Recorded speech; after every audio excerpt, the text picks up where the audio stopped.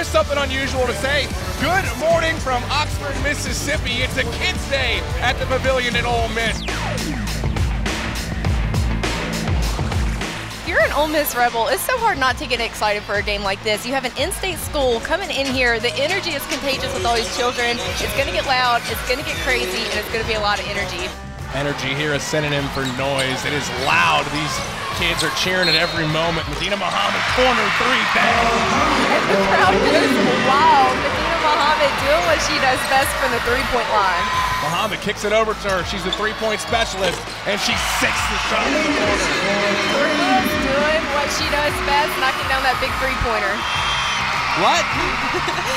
I think Ole Miss had a little defensive help there from the fans on that possession. You cannot hear yourself thinking here. Great pass inside to Glover up and off the glass. Oh my gosh, how about that assist there by Alyssa Alston?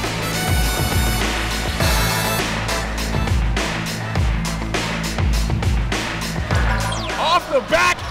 Are you kidding me, Alyssa Alston? She is not point guard. Ole Miss, on the other hand, improves to 9 and 1.